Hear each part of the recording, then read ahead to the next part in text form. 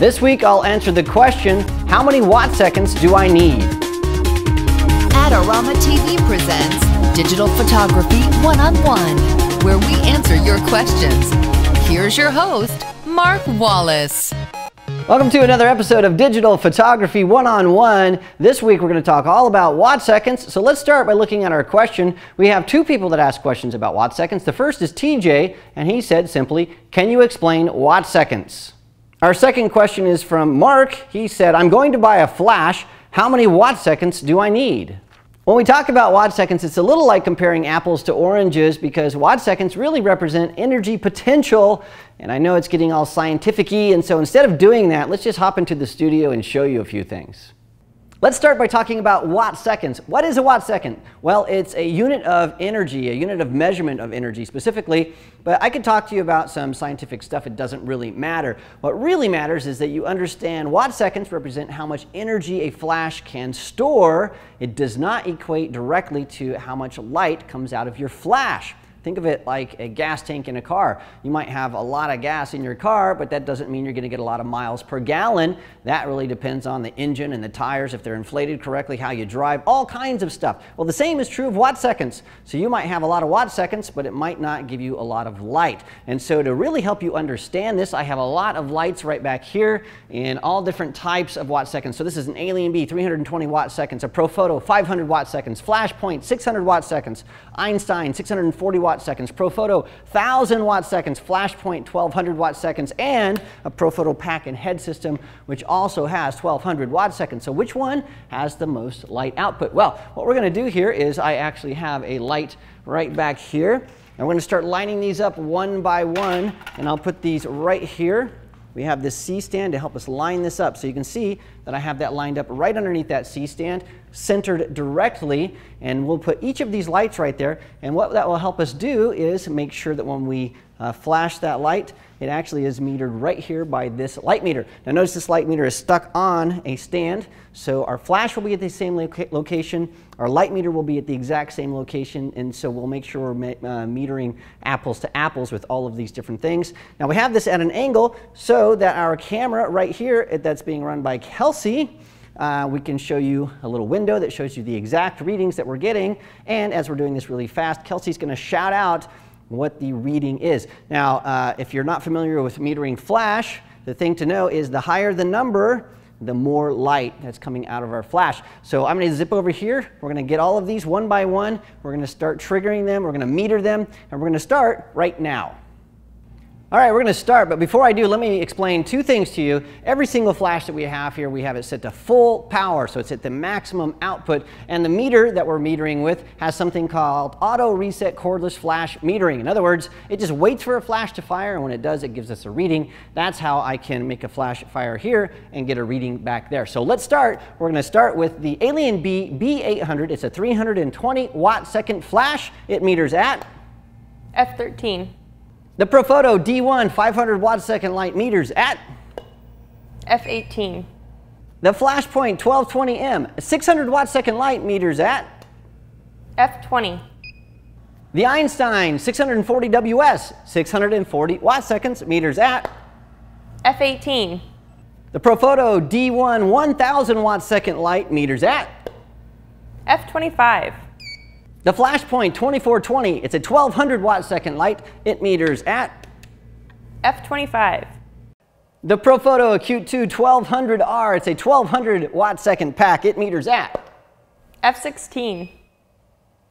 All right, well, the data is in and the data doesn't lie. Let's take a look at these numbers. We'll put them up on the screen for you. Now, notice that just because you have the most watt seconds doesn't mean you have the most power output. In fact, take a look at this. The Profoto 500 watt second lamp, F18, equals the Einstein, which is 640 watt seconds. So we got the same amount of power out of a 500 watt second head as we did with a 640 watt second head. But I think the most interesting thing is when we get up to the big guns here. This is a 1000 watt second uh, monolight here, the D1, and it metered at F25, which is the same thing that the Flashpoint 1200 watt second lamp uh, our light metered at. So we got as much power out of this as we did with this guy, even though this flash point has more uh, potential for energy, 1200 watt seconds, and it, it, actually exceeded the output of our 1200 watt second Profoto. Now, why is that? What's going on? Well, just because you have a lot of watt seconds, that doesn't mean that it equates to power output. There's a lot of stuff going on there, and we know that the D1s are the latest, greatest technology, so they're really efficient in getting that power from the capacitor out through the uh, front of this uh, using a great reflector and using a great flash tube. So it's really converting that light or that power into light and doing a great job. Now this other Profoto is great, but it's older technology, so this 1200 watt second Profoto isn't going to keep up with the newer technology. Just like a 1974 Chevy isn't going to keep up with a 2013 Chevy. It just is not going to happen because the efficiencies aren't there. Well, there's another thing that's happening here that's really significant, and that's the light modifier. This guy the reflector. Let's take a closer look at that and how it can really change the output of your light. One of the things I found interesting was that the 1200 watt second Profoto pack and head had an output of F16, which is less than the 1000 watt second monolight from Profoto, and it had an output of F25. So what gives? Well, one of the things that's really different in our demo was the reflector. And so on our acute, we had an old reflector that's been replaced with something that looks a little bit different.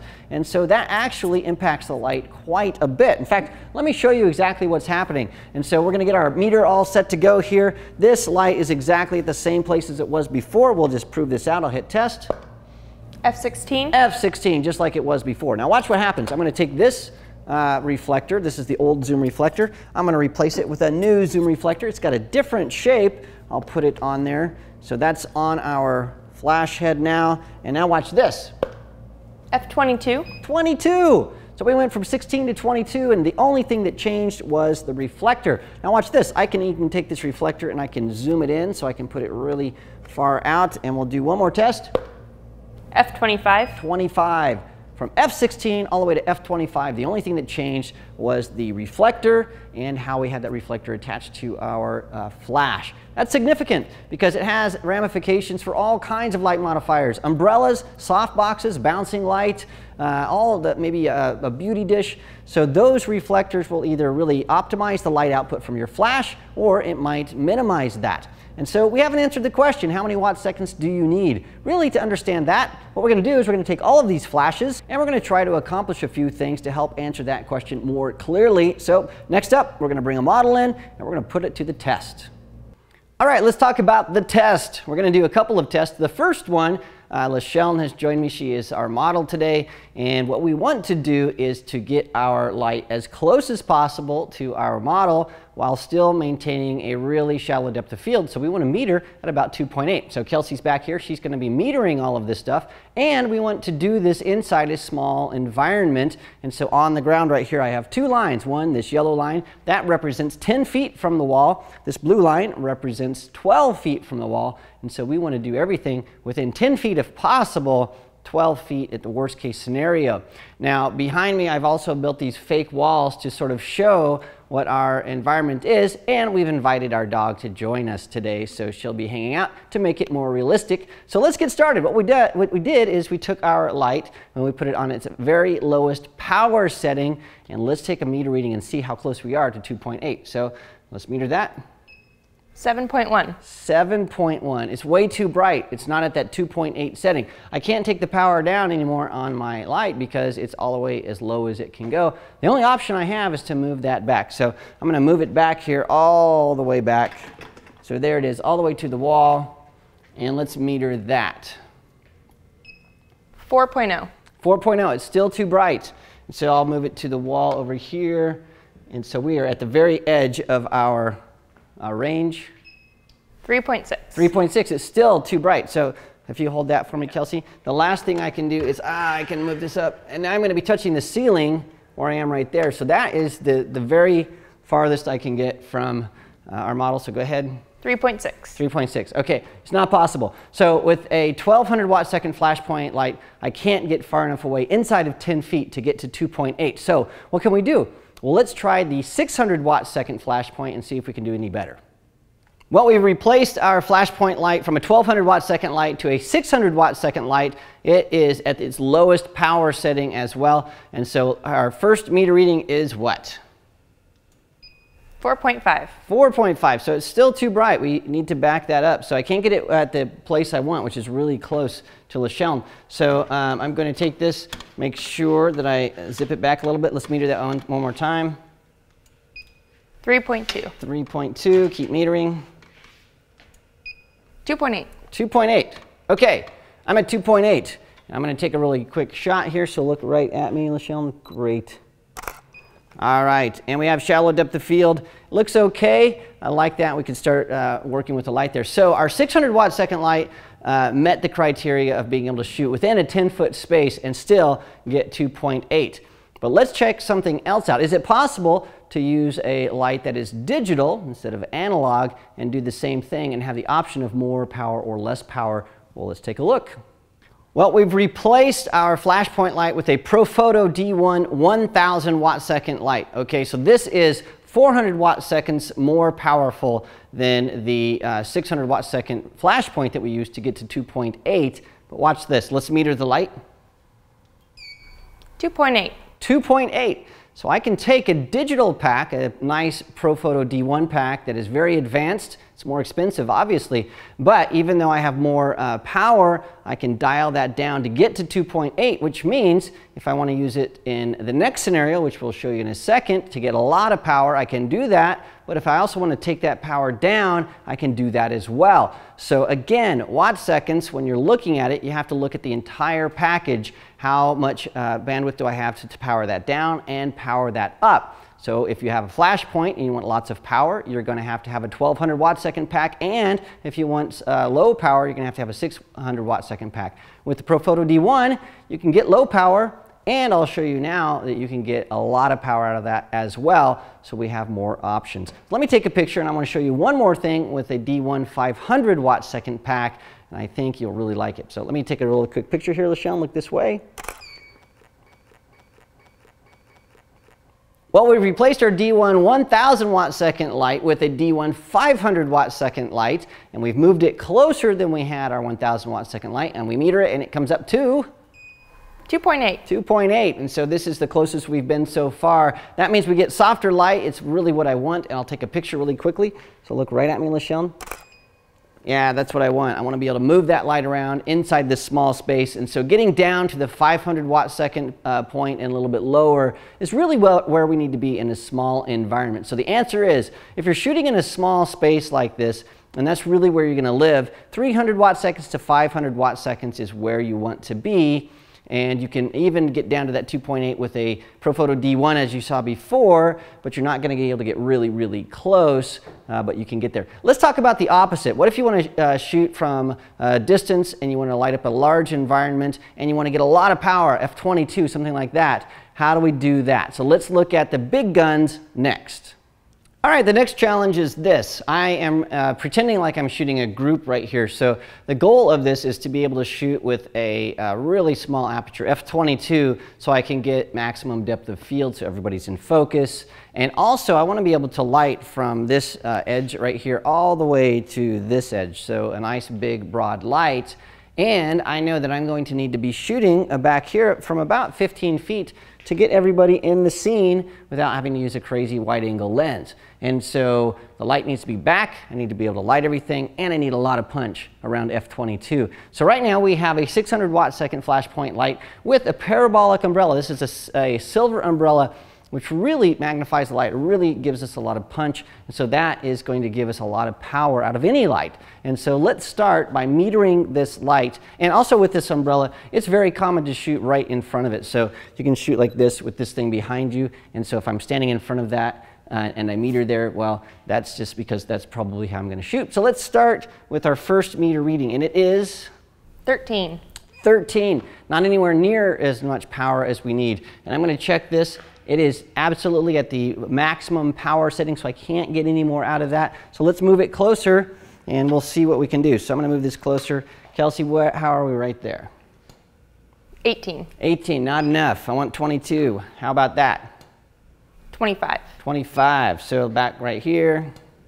22. All right, 22. Well, that's sort of crazy because I'm way too close. It's not going to work. If I come back here to shoot behind this, obviously I have issues. So 600 watt seconds is not going to get it. Let's try the 500 watt second D1 from Profoto to see if it can do any better. All right, now we have the D1 500 watt second uh, light. It's digital. It should be more efficient. Let's start back here where I would normally be shooting on my camera, but let's meter that right there, Kelsey. 16. 16, not close enough. I'll move this a little bit closer. Let's try that. 20. 20, come a little bit closer. 22. 22. Now, if you look on these lines here, we are about just about two feet farther back with the 500 watt second D1 as opposed to the 600 watt second flash point. Both of them are still too close, but you can see this is a little bit more efficient with the output of its light. Let's jump up to the big guns. Let's get a flash point 1200 watt second head, and let's see if we can make this happen. We now have a Flashpoint 1200 watt second head. It's at full power. We have it at a, a distance, and we're going to start there. So let's meter this, Kelsey, see where we are. F16. 16, it's punchy, but it's not 22 where we want to be. So I'm going to move this a little bit closer. Meter that, please.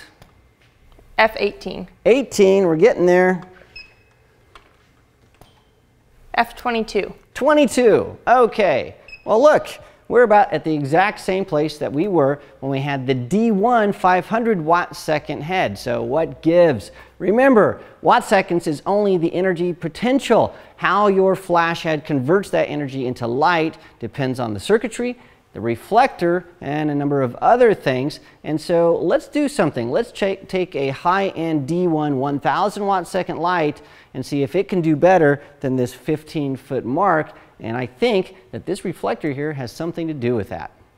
All right, well now we have a Profoto D1 1000 watt second head out here and notice it's in the same position that we had or similar position that we had the Flashpoint 1200 watt second head. So this is less watt seconds, same position. Now notice that we don't have a reflector on the end of this D1 head because the D1s have a, a diffusion uh, panel at the end and so they don't always need a reflector. It's one of the nice advantages of the D1. You don't always have to have a reflector. That is really going to punch a lot of light out to this parabolic umbrella and give us some great results. So let's take a look. This metered at f22 with our flash point at about this uh, range. Let's see what the D1 head meters at. F32. 32. So a lot more punch with uh, less watt seconds. So let's move this back. So Kelsey, what do we have? F25. 25, moving back. F20. F20, so about right here. Let's get that, 22. F22. F22. All right, now our parameters are met. I can shoot back here at about 15 feet. I can get the whole scene. We're at F22. How many watt seconds did it take? It took 1,000 watt seconds, but it took 1,000 watt seconds from a really nice head that is digital and it's optimized for really nice uh, high power output. So uh, the, the uh, final uh, judgment here is if you need a lot of power like this, what I would consider doing is getting a nicer uh, head because you'll get more power for your watt seconds. It's going to be more expensive, but remember, this D1 head with 1,000 watt seconds, we were able to bring that close tune it down to 2.8 and get that shot as well. And so with a 1200 watt second flash point, you'd probably have to have two or maybe three of those to get the punch that you need at this distance. You can do the same thing with one D1 head. It's more expensive, it's much more expensive, but when you're putting all these different sets together and trying to get this kind of stuff, it's more versatile, it'll save you time, it's less gear to lug around. In the long run, it's gonna save you money. And so the final verdict is how many watt seconds do you need to do this kind of stuff? At least 1200 watt seconds or an optimized head like this one. You might even consider going all the way up to 2400 watt seconds to get a lot of punch from a big environment like this. Well, the point of all of this is to illustrate the point that watt seconds don't equate to power. And so you can't uh, compare one brand of watt seconds to another brand of watt seconds because of the entire package. So the bottom line is, if you want the best bang for your buck, you really need to get a higher end flash that really optimizes those watt seconds, just like a car that has really high gas mileage. The downside is those flashes are very expensive. And so if you're on a budget, consider getting multiple flashes if you need a lot of light. If you really need a lot of punch, just to review, you need at least 1200 watt seconds, maybe even up to 2400 watt seconds to really get a lot of light. If you're shooting indoors, doing mostly portraits, then 3 to 500 watt seconds, maybe even 600 watt seconds is going to do you just fine. And I hope that helps out. I know it's not a clear-cut answer because it's all variable and where you shoot is changing. One of the things that you might want to consider is to go to a rental house if one is close to you, rent some lights, play with them for a few days, and see what works best for you. Well, I hope that helps you out. Thanks for joining us this week. If you have a question about photography or photography gear, send me your question to askmark at adorama.com. I'll see you again next week. This episode is brought to you by Adorama TV. Visit the Adorama Learning Center where you'll find photography tips and techniques, links to the gear used in this episode, and related videos. For all the latest photography, video, and computer gear, visit Adorama.com. And the next time you're in New York City, visit our store located on 18th Street between 5th and 6th Avenue. Welcome to an episode for the record, I know scientific is not a word.